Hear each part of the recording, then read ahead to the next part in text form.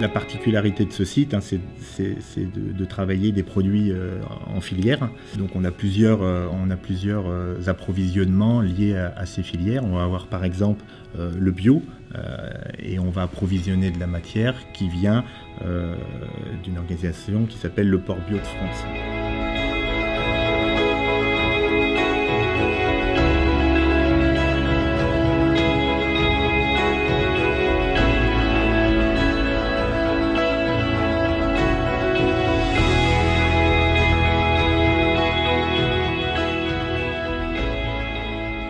Sur la partie cuisine, euh, on a effectivement une étape spécifique et, particulière qui est euh, ce qu'on appelle l'échaudage des, gras, qui permet euh, lors de cette étape d'obtenir un produit qui est d'une qualité supérieure en bouche au niveau du produit fini.